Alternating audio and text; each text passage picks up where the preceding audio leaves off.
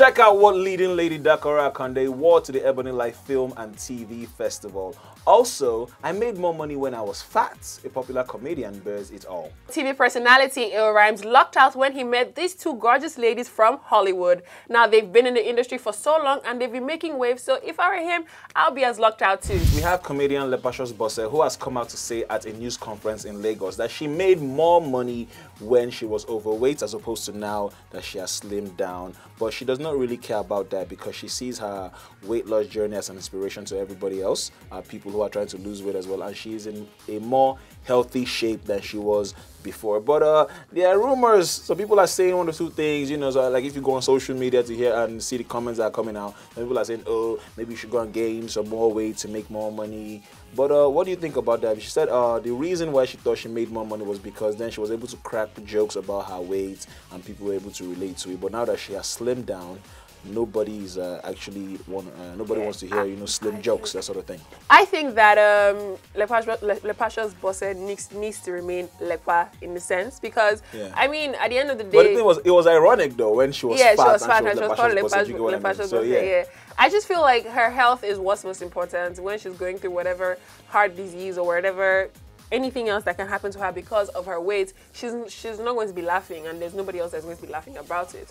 I feel she lost. I think she lost over 100 kg. She lost a lot. She's a size 16 now. Yes, and she used yeah. to be. She used to weigh 198 kg. Yeah, yeah. If I lose mm -hmm. 100 kg, I won't exist anymore, and there will be minus say for remaining. exactly. Okay. So like, I feel like she's come a long way, mm -hmm. and you can't just dwindle that achievement because you want to make some more money. Like, exactly. what's the point of making more money if you can't live to spend that Health money? Health in S. No, wealth in S when it's health next to it. That's Lupe Fiasco.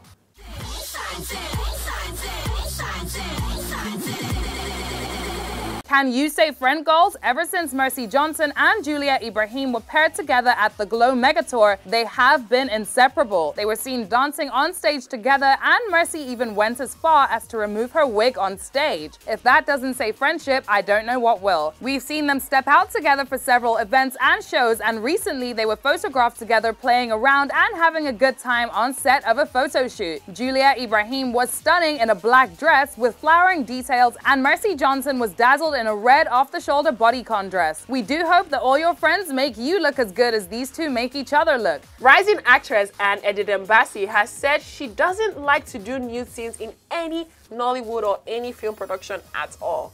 Now, lately, with international TV and everything else in between, there have been a few nude scenes, some racy scenes, some very interesting sensual scenes as well. Now, Anne is saying that she's not really into that whole nude and woke, woke wokeness in the sense. Stay woke. She's not that. She's she's saying that she's basically not that woke, and she grew up with a very strict father that doesn't take nonsense from any of them. But if you think about this thing, this is a craft, and you're supposed to be. If it doesn't matter uh, if you're nude or not, if you're supposed to be able to play a nude scene the same way you can play a scene where you're fully clothed. Do you get what yeah, I mean? I so it's a craft. I mean, you have to move forward to be able to. Uh, you, you can't just be in one. Uh, one corner and expect to, to expect your industry to grow. You have to I think people should understand that nudity should be part of acting. Not yeah. not like oh not like full blown or anything like that, but yeah, you understand. Just a little bit like of just a bit of this and a bit yeah. of that. As in it's part of it. If you have to play that part, it's not like oh oh people are married in Hollywood and they still play like full frontal nude scenes mm -hmm. and everything because everybody understands this